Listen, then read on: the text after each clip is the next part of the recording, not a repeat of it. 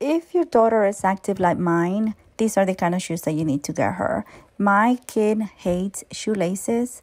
She loves these kind of shoes. She loves the style. They offer her extra support um, on the front of her foot.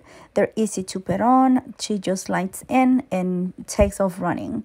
They're very lightweight, very, very lightweight.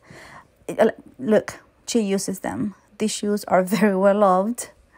They're so dirty. And the good thing about them is that you can throw them in the wash and they wash very, very well.